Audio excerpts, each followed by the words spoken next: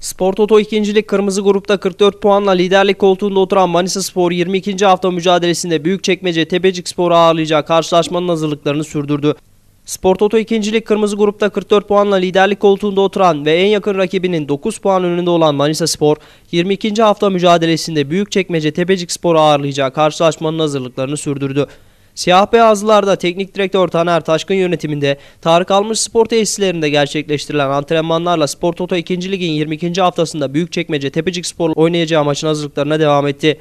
Akşam antrenmanı ise ısınma çalışmalarıyla start aldı. 5'e 2 çalışmasıyla devam eden antrenman dayanıklılık koşusu ve geniş alanda oynanan oyunun ardından stretching ile tamamlandı. Manisa Spor'da soğuk algınlığı geçiren Yasin Ümit Arslansa takımdan ayrı olarak düz koşu yaptı.